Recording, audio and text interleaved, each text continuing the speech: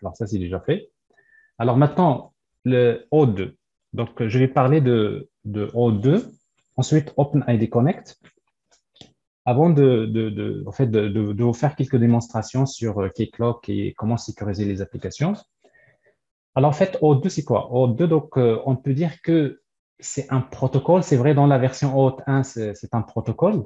Mais à partir de euh, O2, donc, c'est un framework. Donc, vous pouvez dire c'est un protocole et un framework de délégation d'autorisation. Alors, ça veut dire quoi, délégation d'autorisation? Ben, Généralement, c'est une architecture à trois parties. Euh, il y a le client, donc je vais vous expliquer ça. Alors, qu'est-ce qui se passe? Vous avez un serveur, ce qu'on appelle resource server, server, dans lequel vous avez une ressource, par exemple une API RESTful, un microservice. Donc, et après, vous avez ce qu'on appelle un resource owner, c'est-à-dire le propriétaire de la ressource, c'est-à-dire l'utilisateur qui a le droit d'accéder à cette ressource-là, cette API REST. Et après, euh, en fait, cet utilisateur voudrait autoriser une application tiers, donc une application tierce, euh, euh, on va permettre à une application d'accéder à cette ressource. Alors, qu'est-ce qui se passe généralement? C'est que l'application cliente, et après, côté, après, vous avez la troisième partie, c'est l'Authorization Server, c'est le, serveur d'autorisation. Alors, comment ça se passe? C'est que l'application cliente, il, envoie la requête vers le, serveur de ressources. Alors, il n'est pas autorisé parce que normalement, pour accéder à, cette ressource-là, il faut s'authentifier. C'est-à-dire l'accès à cette ressource-là, il est protégé par euh, un système d'authentification. Donc, ici, les moments que euh, je ne suis pas authentifié, qu'est-ce qu'il fait le, euh, serveur de, ressources? Il va rediriger, bah, c'est une redirection qui va se passer, il va rediriger le client vers le serveur d'authentification. C'est-à-dire, je veux accéder à une ressource, à une API RESTful, par exemple, qui existe dans un serveur. Une fois que je tente d'accéder, par exemple, à l'application, et après, automatiquement, je suis redirigé vers un autre serveur. Et ce serveur-là d'autorisation, qu'est-ce qu'il fait? Ben, Généralement, euh, le serveur d'autorisation, il va vous afficher, euh, il va vous il faut d'abord s'identifier. Donc, il va d'abord vous afficher un formulaire d'authentification. Donc, vous voyez donc le, formulaire d'authentification, c'est à ce niveau-là. Ben, vous allez saisir votre username, votre mot de passe. Vous allez envoyer la requête, euh, par exemple, vous appelez login. Euh, vous envoyez des informations. On va voir euh, parmi ces informations, il y a username, le mot de passe, mais également il y a des informations qui sont enregistrées au niveau du serveur, notamment client ID, notamment le, le, ID du client, parce qu'en fait, après, on va voir au niveau du serveur, euh, on va créer euh, des clients, on va leur donner un, client ID avec lesquels on identifie les applications clientes. Et également, on envoie ce, qu'on appelle une callback. Callback, c'est en fait, c'est euh, en fait le callback, c'est l'URL qui va être appelé une fois que l'utilisateur est identifié. Alors, dans notre cas ici, par exemple, la callback, ça va être l'adresse vers cette, cette ressource-là. Donc, c'est envoyé dans l'URL. Bah, on envoie username et mot de passe. Qu'est-ce qu'il fait le serveur? Il va vérifier euh, l'identité de l'utilisateur. Alors, O2, euh, donc, euh, il ne fait pas de l'authentification. Donc, c'est un protocole qui, oui, qui plutôt c'est pour déléguer les, autorisations. Donc, si vous, pour faire l'authentification, généralement, c'est pas, en fait, pas O2 qui, qui, qui, fait ça. On va voir, c'est OpenID Connect. C'est-à-dire que le serveur d'autorisation lui-même, il peut faire appel à un autre serveur d'identification. Par exemple, si les, identités euh, des, de, en fait, des utilisateurs se trouvent dans un annuaire euh, LDAP, par exemple, ou Active Directory, euh, le serveur d'autorisation, il peut communiquer avec un autre serveur pour, savoir l'identité de l'utilisateur, c'est le mot de passe, etc. donc, ça veut dire que l'authentification, euh, c'est pas l'affaire de, en fait, de, de Route 2. donc, il y a l'authentification qui va se faire. Bon, c'est vrai, il y a des serveurs qui vont faire les deux, c'est-à-dire, par exemple, Keycloak, ben, il fait l'authentification parce que il va, il va vérifier si l'utilisateur existe, etc. Et après, euh, il va, une fois que l'utilisateur est, est, authentifié, qu'est-ce qui va se passer?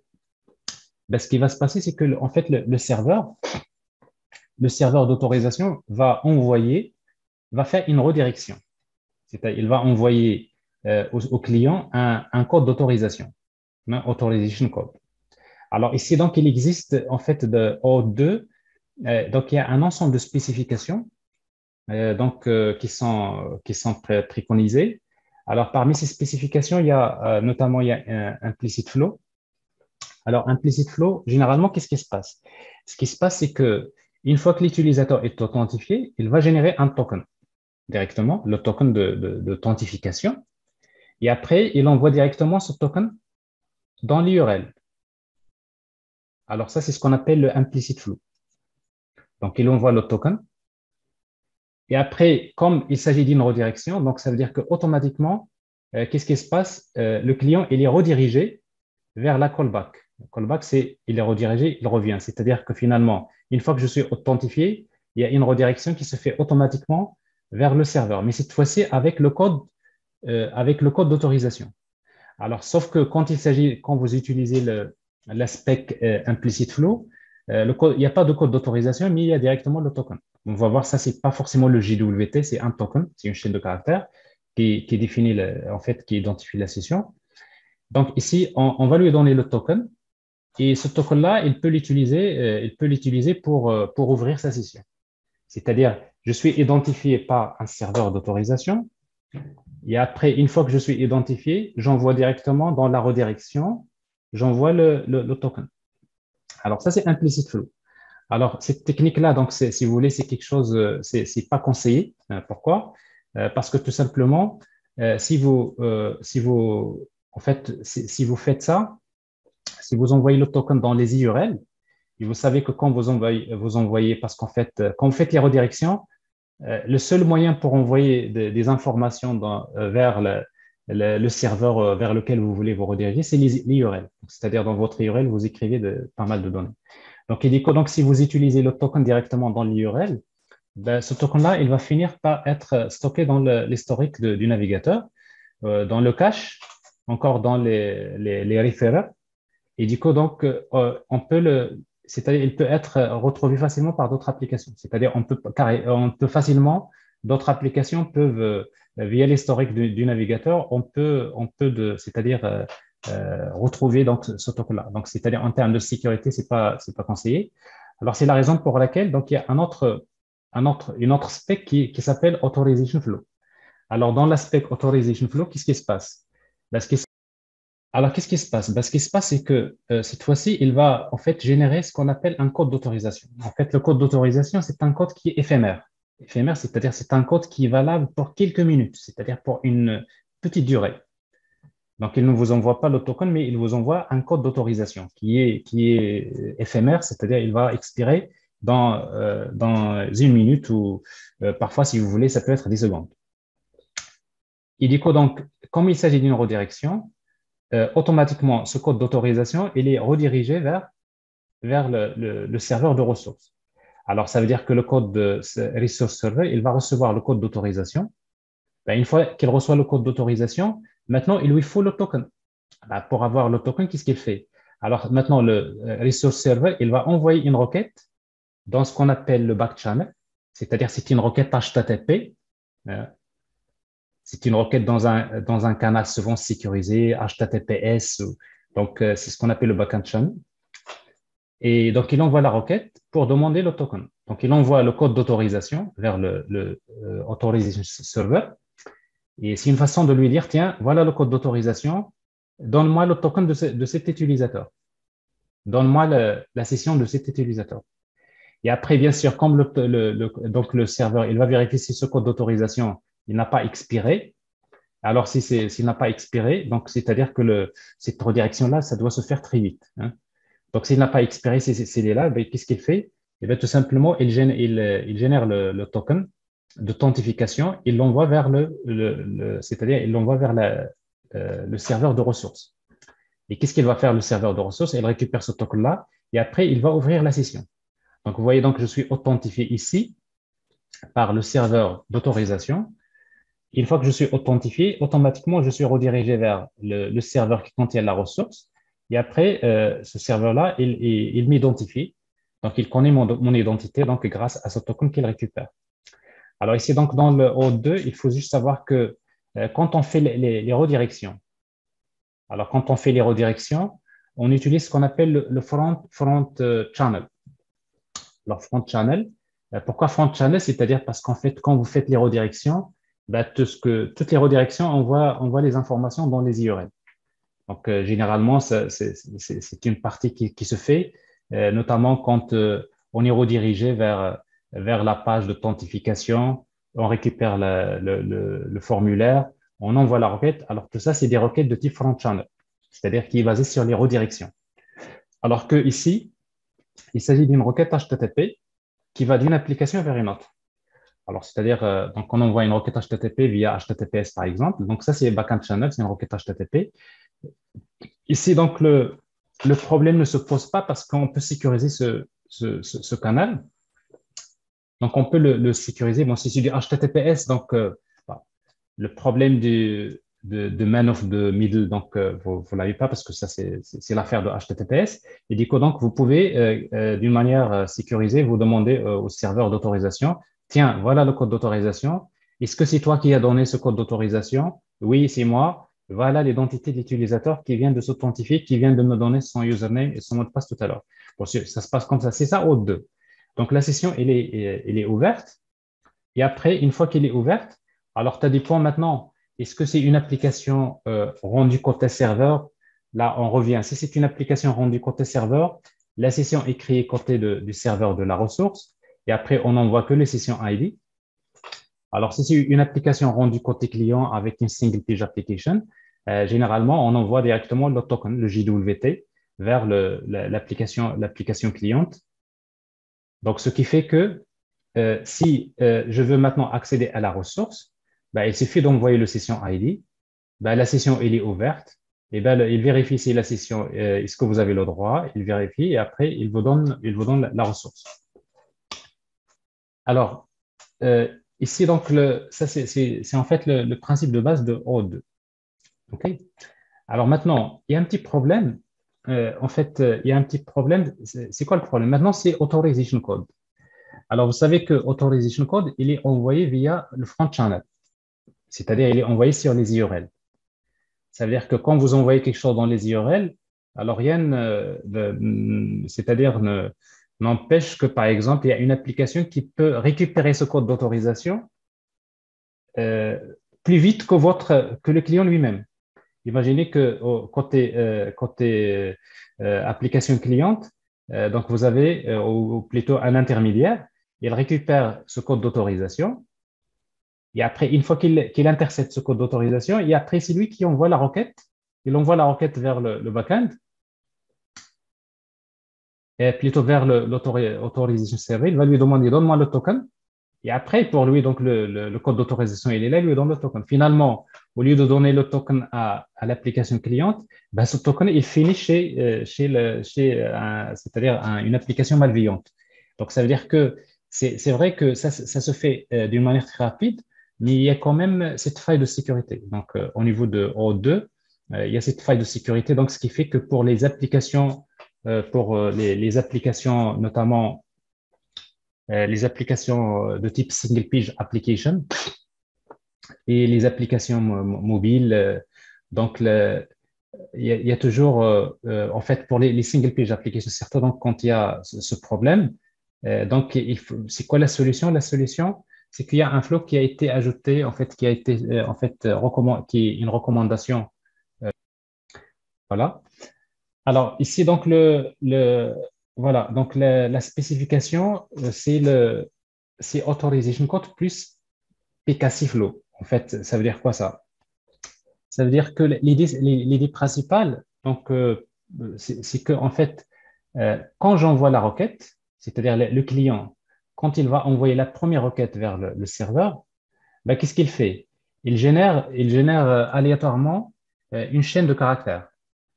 Donc, c'est ce qu'on appelle euh, Verify Code. Le Verify Code, VC, c'est une chaîne de caractères qu'il va générer. C'est le client qui génère un code de vérification. C'est une chaîne de caractères qu'il va générer aléatoirement. Et après, il va calculer un hash. C'est-à-dire, pour ce code de vérification, il va calculer un hash de ce code de vérification. Et après, qu'est-ce qu'il fait? Dans la première requête, euh, il envoie ce hash vers le serveur. Donc, dans la première requête, on va lui envoyer ce hash. Donc, vous voyez donc ce hash-là, il est récupéré par, euh, par, en fait, dans cette première requête de redirection, et c'est là, ici, vous allez trouver quelque chose comme ici, donc le, le code verifier, etc. Donc, il est envoyé dans l'URL. Alors, le serveur, il récupère ce hash-là, donc c'est-à-dire le, le code verifier, donc il reste chez le client, mais par contre, il n'y a que le hash qui est envoyé vers le, serveur. Ben, le serveur, il le garde, il va authentifier l'utilisateur, il fait la redirection, il va dans le code d'autorisation, et quand le client, et quand le client va envoyer en back channel la, requête pour demander le, token, donc quand il, va, alors ici donc le, ça se passe ici au niveau de la ressource, euh, donc quand il va demander le token, ben, tout simplement c'est à ce moment-là que le client va envoyer le, le ce, ce verifier code, le, euh, le code verifier. Donc c'est-à-dire dans cette requête-là, il, il envoie le code d'autorisation plus code verifier c'est-à-dire celui qui l'a généré. Et après, comme le serveur, qu'est-ce qu'il va faire? Pour vérifier, pour être sûr que la requête provient euh, de, du même client, et non pas un intermédiaire qui a intercepté le code d'autorisation qu'il a présenté avant lui, qui est plus rapide que lui. Alors, dans ce cas-là, qu'est-ce qu'il fait le et Tout simplement, il va prendre ce code verifier, il calcule l'OH lui-même avec la même technique qui est utilisée par, euh, euh, donc il calcule l'OH par le client, et après, il va comparer. Donc, il compare l'OH qui a été envoyé au début avec celui-là. Si c'est le même, ben, c'est une façon d'être sûr qu'en fait, c'est-à-dire le, code d'autorisation a été envoyé euh, vraiment par le, client euh, qui, a, qui, a, initié c'est-à-dire l'opération d'authentification. Alors ça, c'est en fait dans l'aspect en fait O2.1. Euh, Alors dans le, en fait O2.1, en fait plutôt on va dire la recommandation, c'est plutôt d'utiliser Authorization Code plus PKCE Flow. Donc, Code Exchange. C'est-à-dire, euh, utiliser Authorization Code, mais avec un code verifier qui est généré. Donc, vous allez d'ailleurs voir avec Keycloak, etc. Donc, c'est des choses qui, qui, qui fait automatiquement, mais c'est quand même c'est des concepts qui sont importants à, connaître. Donc, globalement, dans O2, donc, vous avez donc, euh, le mode implicit flow, vous avez authorization flow, euh, code flow, et après, vous avez euh, authorization code plus PKC flow. Alors, notamment pour le. Donc, ça, c'est ça, c'est des, éléments qu'il faut connaître. Alors, maintenant, pour. alors, pour le. Quoi dire Pour le, reste. Alors, je vais avancer. Ah, voilà. Je n'ai pas encore terminé, mais regardez bien. Maintenant, les utilisateurs ben, il s'est authentifié, il a reçu son code d'autorisation, il l'a présenté au serveur, euh, le serveur lui donne euh, le token, la session est ouverte, il n'y a pas de problème. Mais imaginez maintenant que ce client-là veut, posons c'est une architecture microservice. Vous avez un autre microservice dans l'architecture, un autre serveur. Qu'est-ce qui se passe si le client encore demande, euh, veut envoyer une requête vers, vers ce serveur-là? Alors, si on est dans ce, ce, ce, mécanisme-là, et eh bien tout simplement, le, serveur, le, client, euh, en fait, il a le session ID, le numéro de la session qui a été ouverte au niveau de Resource Server. Mais ce numéro de session-là, il ne peut pas l'utiliser dans un autre serveur. Donc, ce qui fait que si, si vous demandez une requête vers un autre serveur, ben, on va reprendre le même, la même procédure. C'est-à-dire, on va être encore redirigé vers le serveur, il va nous donner username, le mot de passe. Ça veut dire il va falloir s'authentifier à nouveau. Donc, pour chaque ressource que vous demandez, pour chaque serveur de ressources, vous allez être redirigé. Pourquoi? Tout simplement Parce que dans, dans O2, O2, il vous donne tout simplement un token. Et ce token-là, il contient, en fait, ce token-là, en fait, il, il contient pas le, c'est-à-dire, c'est pas l'authentification, c'est-à-dire, il contient pas l'identité de l'utilisateur. Alors, c'est la raison pour laquelle, c'est-à-dire que O2, en fait, il fait pas de l'authentification. Euh, c'est pour cela qu'on a besoin d'utiliser euh, OpenID Connect. En fait, O2, c'est déléguer les autorisations. Et on va ajouter euh, souvent OpenID Connect qui va lui va s'intéresser à, une façon pour identifier l'utilisateur. C'est l'identité pour, pour faire l'identification. Eh bien, tout simplement, c'est OpenID Connect. Et justement, c'est OpenID Connect qui, va introduire le JWT, JSON Web Token dont j'ai parlé tout à l'heure. Euh, parce qu'en fait, vous pouvez bien utiliser donc O2 sans JWT. Donc, sans OpenID Connect, vous avez un token, c'est une chaîne qui est petite chaîne. Donc, ça, ça, peut se faire dans des, systèmes classiques. mais d'une manière générale, on a besoin souvent d'utiliser donc O2 avec OpenID Connect. donc, je vais vous définir. Donc, justement, OpenID Connect, c'est quoi son rôle? D'abord, OpenID Connect, OIDC, c'est un protocole au-dessus de O2, quelque chose qui a été rajouté à O2, cette fois-ci pour la gestion des identités. Alors, qu'est-ce qu'il a fait OpenID Connect? Il a introduit euh, un concept de ce qu'on appelle le ID token. En fait, le ID token, c'est quoi? C'est un JWT euh, dans lequel on va trouver en fait deux tokens. Donc, c'est-à-dire le ID token contient deux tokens. Il y a ce qu'on appelle le access token et le refresh token. Alors, en fait, le access token, c'est un JWT. Le refresh token, c'est un JWT. Bon, le access token, c'est le token qui va être utilisé, comme j'ai montré tout à l'heure. C'est lui qui va vous permettre d'accéder à l'application parce que c'est lui qui contient les usernames, les rôles, les signés, etc., etc.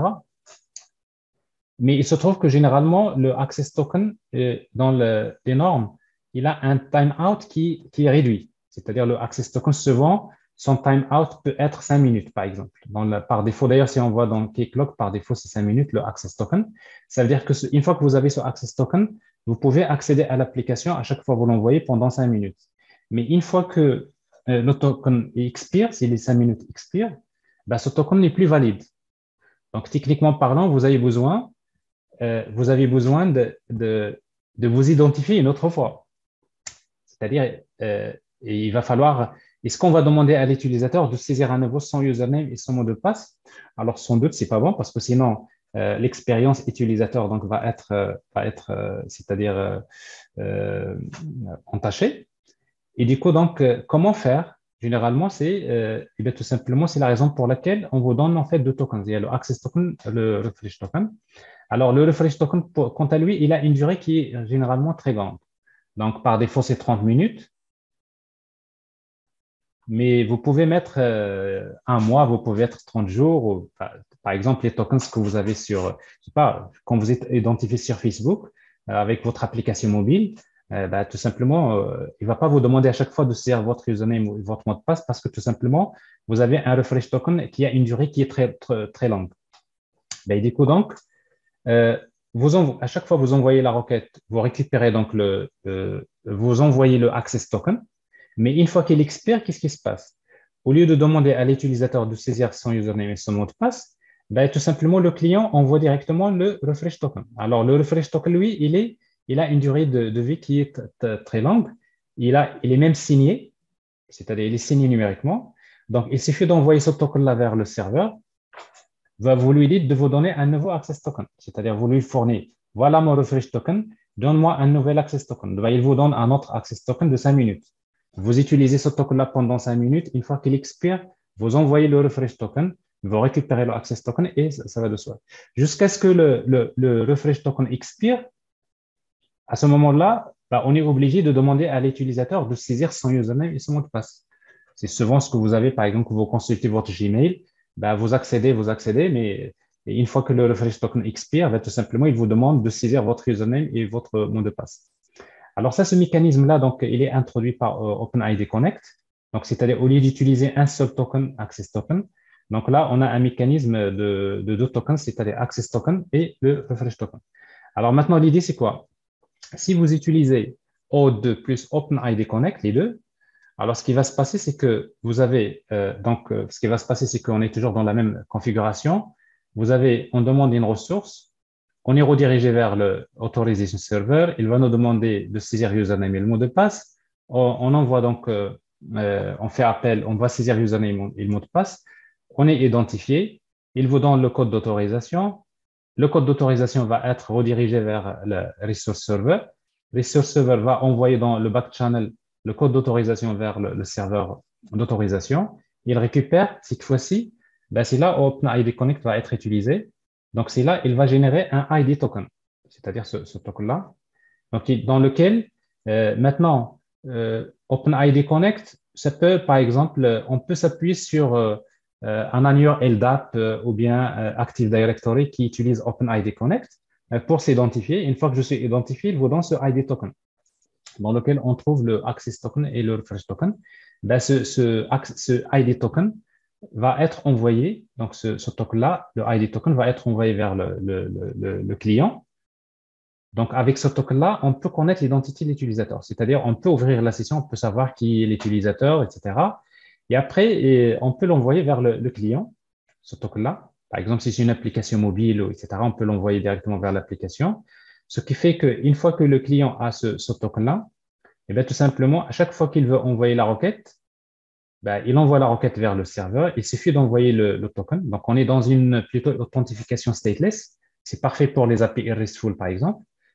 Et euh, voilà, donc une fois qu'il récupère le JWT, la seule chose dont on a besoin, c'est de vérifier la signature de ce token, le JWT, le Access Token.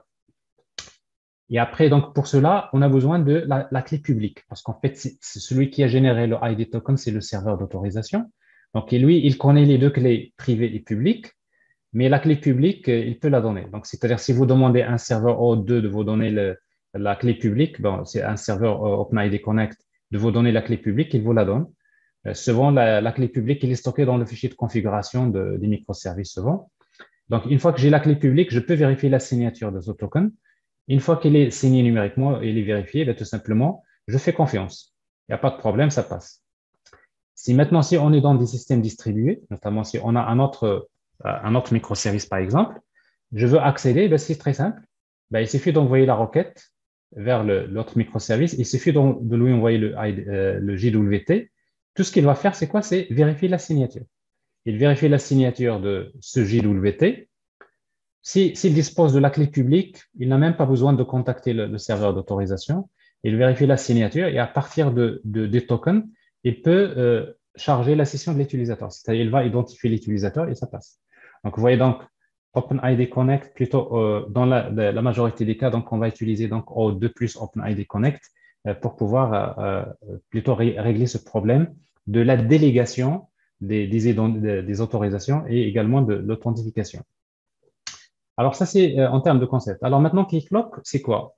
Alors Keycloak, c'est euh, en fait, euh, c'est l'un des outils qui sont open source. Donc c'est un outil permettant de centraliser l'infrastructure de la sécurité des applications en déléguant, ou lui déléguant la gestion des identités, si vous voulez. C'est-à-dire Keycloak, lui, avec Keycloak, vous avez une interface dans laquelle vous pouvez créer les utilisateurs, les rôles, etc. Donc, vous pouvez l'utiliser. Mais également, euh, si euh, vous dites, euh, moi, les, identités des utilisateurs, ils sont gérés par un annuaire LDAP ou bien Active Directory, par exemple, ou autre, ben, il n'y a pas de problème, Keycloak, et il va s'interfacer avec, avec les, autres IDP, c'est-à-dire pour gérer les, identités. Donc, mais là, il le fait. Mais également, il peut déléguer cette opération.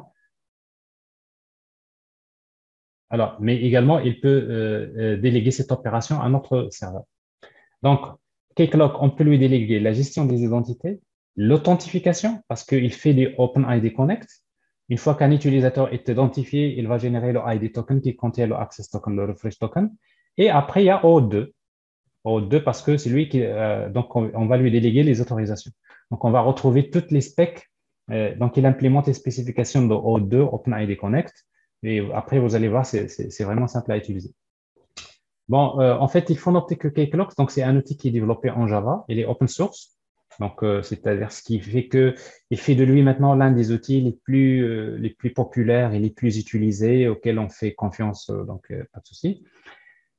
donc, il est développé par en fait JBoss. Bon, pour les gens qui ne le connaissent pas, JBoss a été a rejoint donc Red Hat. Euh, donc, il y avait un serveur d'application qui s'appelait à l'époque JBoss, euh, euh, qui a changé de nom Whitefly. Après, on va voir que les dernières versions de Keycloak, ils sont basés sur Quarkus, donc qui est un framework dont peut-être j'aurai l'occasion de parler. et donc, il est basé sur les standards O2 OpenID Connect. Alors, OpenID Connect, ce, n'est pas le seul protocole d'identification. Il y a un ancien protocole euh, qui est utilisé qui s'appelle SAML. Alors, SAML, en fait, c'est un protocole, lui, qui est basé sur un token en format XML. Bon, ça, c'est, euh, bon, à l'époque, euh, XML, c'était les standards, mais OpenID Connect, lui, donc, son token, c'est en, JWT. donc, si vous voulez utiliser SAML pour une raison ou une autre, si vous voulez interfacer avec un, un IDP qui utilise SAML, donc il n'y a pas de problème. Donc, Keycloak, il supporte également SAML. Donc, c'est-à-dire pour la gestion des identités, vous pouvez choisir soit OpenID Connect ou bien SAML. Donc, il propose, donc il propose des adaptateurs que vous pouvez intégrer facilement dans n'importe quelle application, avec n'importe quel langage, euh, Spring Boot, euh, euh, Spring, avec Spring Security, une application basée sur Tomcat, du JavaScript, une application Angular, Node.js, une application Python, une, application Android ou, Flutter. Généralement, vous avez des adaptateurs que vous pouvez intégrer facilement et qui vous permet facilement de sécuriser vos applications. C'est ce que nous allons voir. Donc, il propose une console d'administration. Donc, vous pouvez utiliser l'interface euh, euh, UI de Keycloak pour l'administration. Donc, euh, c'est ce que je vais vous montrer tout à l'heure. mais également, vous pouvez, en fait, vous pouvez plutôt utiliser une API RESTful. Il y a une API RESTful qui, qui, vous permet donc d'administrer Keycloak. C'est-à-dire, via cette API RESTful, on peut créer des utilisateurs, on peut créer, on peut gérer quasiment toutes les opérations que vous faites euh, c'est-à-dire au niveau de la, partie UI, vous pouvez le faire via une application. Donc, ce qui va ouvrir la possibilité à vos applications d'interagir avec Keycloak via des API RESTful. Donc, vous avez euh, toutes ces possibilités. Alors, en fait, le, principe, c'est quasiment, bon, rapidement, c'est ce que j'ai dit tout à l'heure. Vous avez une application front-end, par exemple, euh, un browser va demander à une application front-end, par exemple, c'est une application de type server-side, par exemple, le rendu côté serveur avec TeamLeaf, par exemple.